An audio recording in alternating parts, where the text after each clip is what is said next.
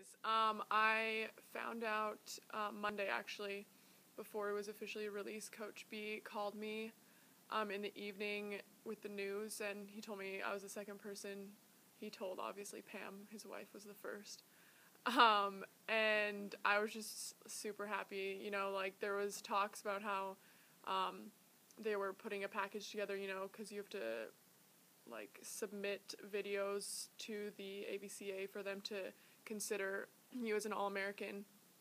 So uh, I knew that there was a possibility, but I didn't know. I mean, there's so many amazing athletes, and uh, I was just super happy. And I Skyped my parents right away and kind of got a bit emotional because it's you know I've just put so much work into this that um, it's nice to have you know uh, recognition in the end. Like realize how big it is right now until I think uh, when I'm gonna be at the All American banquet in Louisville because I mean yes you know there's like the title but you don't really know the significance until you see everything that revolves around it. Um, but definitely it's not only big for me, but it is big for the program and for KU.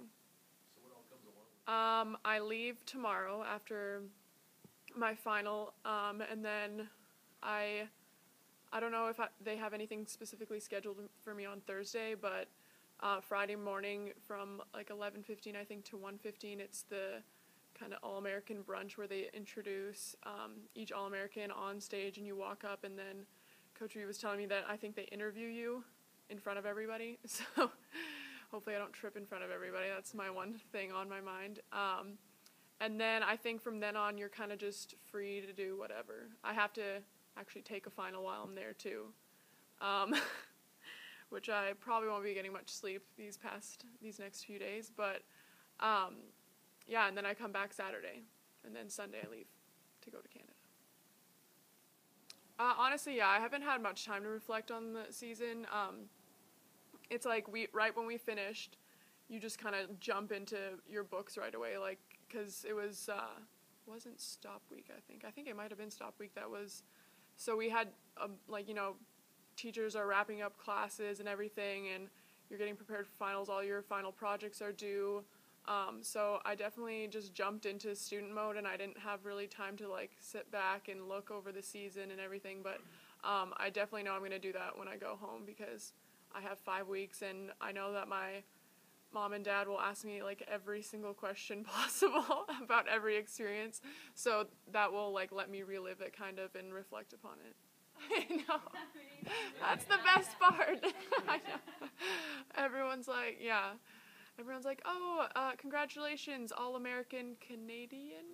like what? I and I was like, I think that's hilarious. Um, I know, and I don't know about like track. I think track has different rules. I think different sports have different rules about um, all American distribution or whatnot. But um, I mean, I think it's pretty sweet deal. I think you know, if it's gonna be the first, why not make it interesting, kind of deal. So.